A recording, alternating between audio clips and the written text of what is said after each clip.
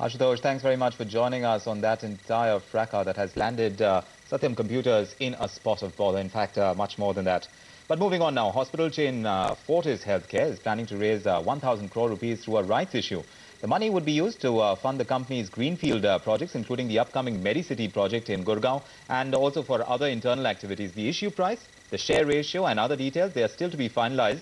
The board of the company has also increased the authorized share capital of the company from 400 crore rupees to 678 crore rupees. There have been reports that uh, the company is in talks to pick up a significant stake in two leading domestic hospital chains. And there are speculations that the fund would be used uh, for these investments. But the company management says that it is not in talks with rival hospital chains. At least that's what they're saying as of now. With that, a small break, uh, but we'll talk about